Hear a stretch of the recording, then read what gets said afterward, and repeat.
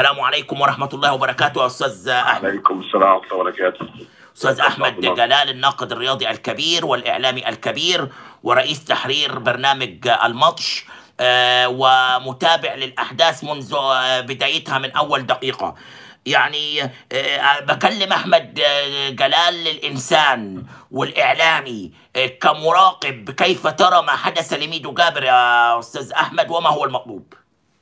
الحقيقة إن ده أمر غريب جدا. يعني يعني الراجل يتاخد من من الفندق بتاع آه، مقر إقامته.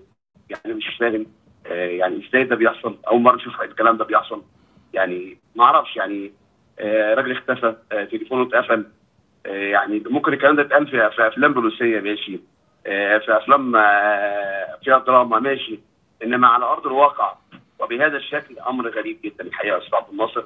ولغاية دلوقتي غير مفهوم وغير مبرر ويعني غير مفسر بالمرة يعني أنا يعني يعني كل مصر تعاطفت مع آه، والدة ميدو جابر لما دخلت معانا وبكت بدموع الأم المخلصة آه، أين ابني يعني أنت تخيل حضرتك سايب ابنك في معسكر في شغله في أكل عيشه وفجأة تلاقي ناس خدته كده من باب الطاق ويختفي تماما من من الوجود يعني أنا مندهش جدا من من من هذا الأمر ويعني لا لا. لا أرى له مبررا يعني يستحق إن إحنا يعني ده يحصل يعني. الحقيقة مهما كانت الظروف ومهما كانت الملابسات ومهما كانت التفسيرات الحقيقة أمر غريب جدا وغير مبرر. آه، الموضوع بقى ترند رقم واحد في مصر دلوقتي. ميدو جابر فين؟ يعني طبيعي إن كل الناس تسأل ميدو جابر فين. طبيعي إن حد يبقى قلقان على ابنه. طبيعي حد حد يبقى قلقان على أخوه. مش عارف حضرتك كلمت والدته ولا لأ أو كلمت كل- كلمت أخته وكلمت أخوه. ووالدته بعد مكالمتها معاكم آه انهارت. وهي مريضة قلب والدكتور جالها البيت ومنعها من الكلام طب يعني يعني لمصلحة من يعني يحدث ذلك يعني يعني لمصلحة من؟ وما هو التفسير ومين ومين اللي ليه مين اللي ليه مصلحة إن كل ده يحصل؟ وايه إيه إيه الدراما دي كلها؟ يعني إيه سببها؟ برضه يعني محتاجين نعرف إيه التفسير يعني برضه مش مفهوم هل مطلوب مثلا فديه من اللاعب مثلا ولا حاجة؟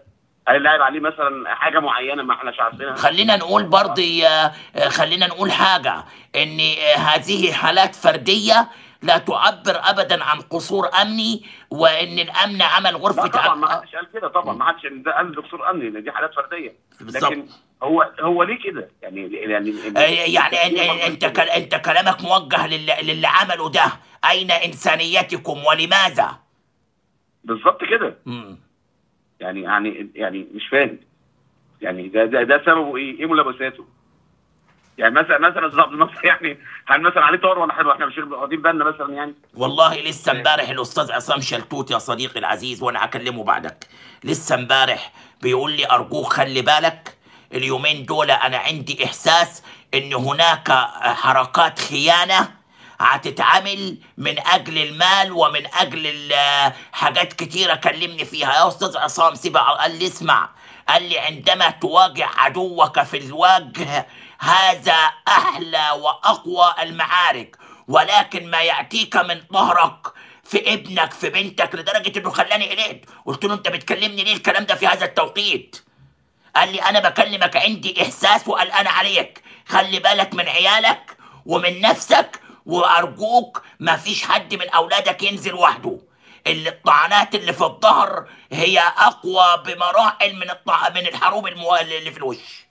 بالظبط يا أستاذ عبد الناصر. كلام كلام أستاذ عصام شطوط صحيح 100% وبعدين هو ليه ليه ناس عايزة تصدر لنا صورة آه، ضد ضد الأمن وضد الأمان؟ وليه ناس عايزة تصدر صورة تسيء لمصر؟ إحنا مؤمنين بمصر. شاء من شاء وأبى من أبى. مهما كانت هناك تصرفات يرى البعض إن هو آه، بيحاول من خلالها إن هو يعني يظهر بصورة معينة. لا مصر أكبر من كده. مصر أكبر من هذه الصغائر. مؤسسات الدولة أكبر من هذه الصغائر. مفيش حد بيحترم نفسه ممكن يعمل كده. يعني مفيش حد بيحترم نفسه وبيحترم وطنه وبيحترم إخلاصه للبلد دي والناس اللي بتديها والناس اللي بتعرق عشانها والناس اللي هي مش عايزة حاجة من البلد دي غير غير إنها تكون كويسة.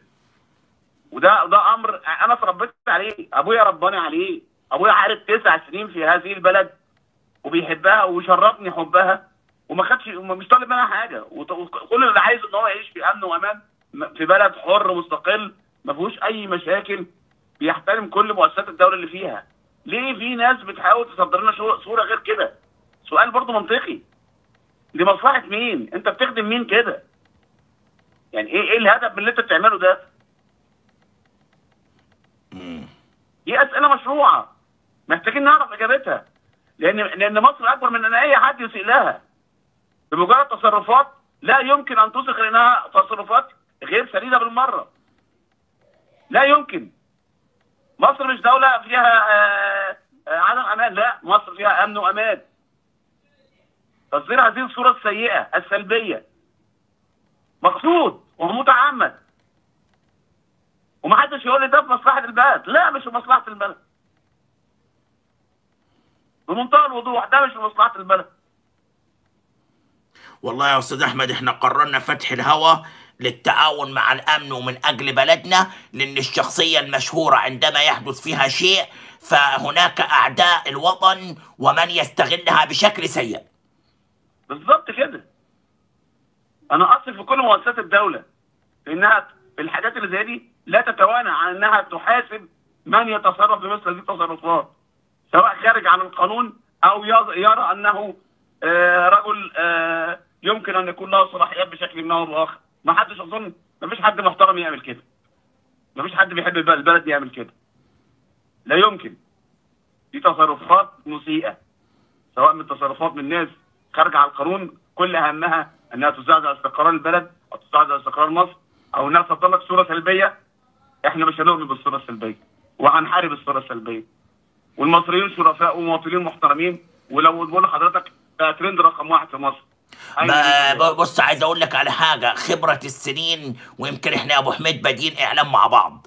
40 سنة إعلام تقول أن هناك لغز لا عايزين نتهم أجهزة. ولا عايزين نتهم حد إلا عندما لا تفك يمكن حد اجهزه محترمة إنها تعمل كده آه يعني بص عايز أقول لك على حاجة. لا يمكن. يعني عايز أقول لك على معلومة. وارد يكون مثلا عليه حكم ومحدش عارف أي حاجة. وارد يكون على فاضل لا آه. لا ثانية واحدة. م? أعلم أن هناك آه، آه، أي أي أمر يتعلق بشخص. هناك إجراءات مشروعة تتخذ بس عايز أقول لك على حاجة يا أستاذ أحمد. عايز أقول لك على حاجة. يعني أنا كان أنا كان معايا صديق معايا صديق. آه آه وما فيش زي ميدو مسالم وتمام التمام وما فيش أي مشكلة في حاجة. كان في لجنة وتشابه اسمه مع حد كان عليه قضية نفقة. جميل جدا يا فندم اخت... اختفى يومين اخت... اختفى يومين قلت إيه دلوقتي مر على لجنة.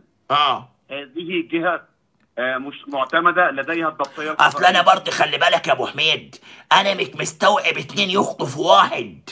يعني أنا معاك إحنا بنخاطب الإنسان وبنخاطب وب... لكن أنا مش متخيل إن اتنين يخطفوا واحد. يعني ولا أنا متخيل. يعني طب على الأقل هيصرخ يعني طب حتى مسافة ما هيخدروه لو افترضنا إنه في تخدير تم ليه. طب لكن سؤال هنا يا أستاذ عبد الناصر. آه. الراجل ده موجود في جهة عمل. تمام؟ مم. أنا هفترض مع حضرتك للنهاية ان ان إن الراجل ده عليه أي شيء آه، ربما يكون آه، آه، غير مت- متساوي مع القانون أو مع مع مع الأمور ال- الم- المواطنه تمام؟ مم.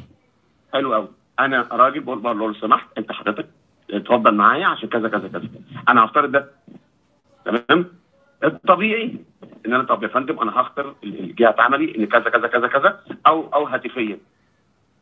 إنما باخده كده وبقفل تليفونه وهو كده. مفيش حاجة اسمها هو كده.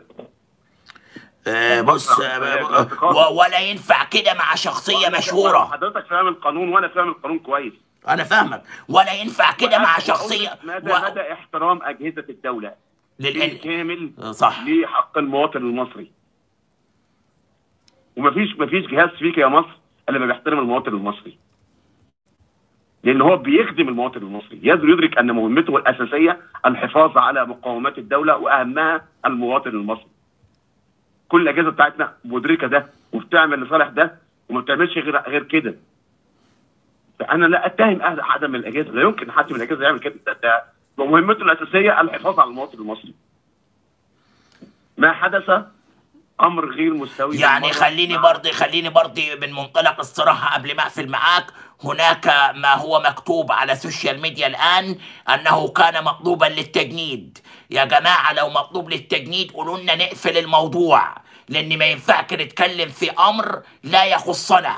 لو مطلوب للتجنيد أو مطلوب في شيء أمني يا ريت حد من اللي بيتابعنا من المسؤولين يقول لنا اقفلوا الموضوع ده موضوع آه، عليه حكم. برضه يا أستاذ عبد الناصر. آه. أنا شايف الراجل ده مطلوب للتجنيد. مباشرة أقول فلان مطلوب للتجنيد. خلص الكلام. لا أنا بقول لك إشاعات. خلي بالك كان الكلام دقيق لحضرتك أنا ما بقول لحضرتك عندنا في مصر خلي بالك أصل. إحنا إحنا دورنا نرد على الإشاعات.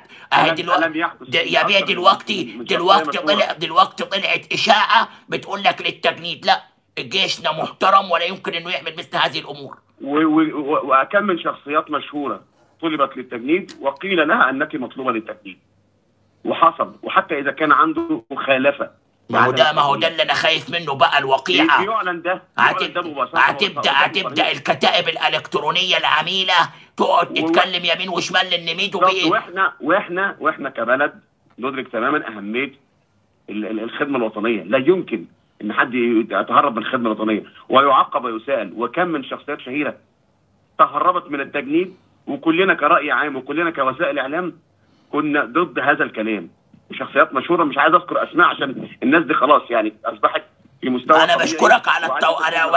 أنا بشكرك على التوضيح لأن إحنا في بلد محترمة وجيشنا شريف وهذا الكلام كلام عيب إنه يتقال. بالظبط كده. عموما عموما آه. سنظ- سنظل في النهاية نؤمن أن كل ما لدينا من اجهزه لن يتوانى عن إن هو يشوف هذا الموقف بالكامل. من فعل ذلك؟ هل هو شخص خارج عن القانون؟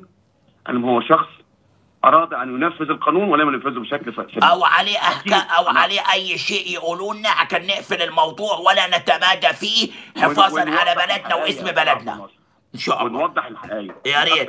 يا ريت. عشان إحنا مع البلد ولسنا ضد البلد. وسنظل مع البلد. استاذن مع مصر. أستاذنك لو وفرت أي معلومه. لو لو وفرت أي معلومة ابعت لي رسالة عشان نعمل مداخلة تاني معاك يا أستاذ أحمد. إحنا سهرانين معاك. ماشي يا فندم. شكرا جزيلا.